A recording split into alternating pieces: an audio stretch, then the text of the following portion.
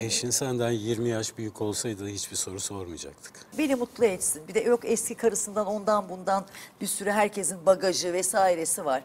Böyle daha hani umutla hala umutları bitmemiş hayalleri olan birisinden Hedefleri palavra olan. bile dinlemek başarılı bir iş adamının kaprislerinden iyidir diye düşünüyorum yani. Öyle Güzel. düşündüm.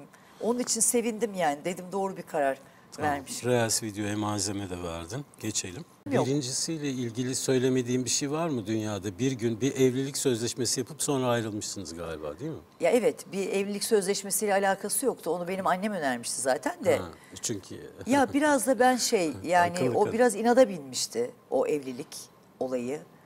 Ee, şöyle inada binmişti. Yani işte karşı taraf istemez gibi bir şeye binmişti. Orada da ben hani o evliliği ister yaptım mi ister istemez mi? demek Görün- için biraz Ha. da o evliliği yerine getirdim. Ama normal şartlarda e, çok benim mutlu olabileceğim e, Bir şey değil, bir evet.